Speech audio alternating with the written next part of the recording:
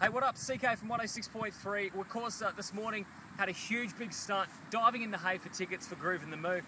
Blake and I are now left with the fact what the heck do we do with all this hay?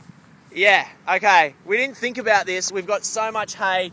We've been grabbing it with our hands, hoofing it over the fence, and I'm actually pretty sure we're going to get in trouble with that. And CK, I am so itchy right now. This is ridiculous. So the big question is, what do we do, Blake? What are we going to do with all this hay? Well, I think I might get my car and actually try and push that over there.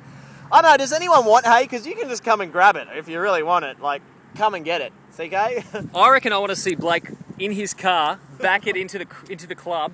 Uh, we're actually thinking here on a community aspect. It's good for the environment. It's good for the garden bed. To stop weeds. well, that's what we were thinking. Sticking it in the garden there. All right, you're going to film me. I will jump in my car. It's a real girly car, by the way. And I'm going to push the hay that way. I'm going to attempt to. You ready? All right, Let's do it. Here we go. You just keep them occupied for a second there, CK. All right, I'm going to have to keep an eye out for the cops, uh, just in case what we are doing is wrong. Here we go. Let's do this thing.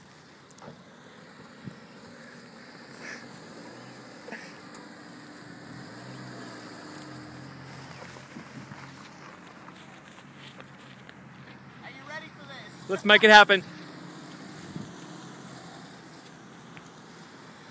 This could possibly be the stupidest thing. This could possibly be the stupidest thing that we've done. I probably will break my car. Is it gonna work? It's working. It's not Oh. working. I just heard. I just heard. So, oh, hang on. It's not gonna work, is it? It's well. I heard something. It did Buckle. like- I heard some plastic. I heard plastic bending. All right. Well, we're we're gonna have to try to lob it over the fence. Ah, it's just so much work.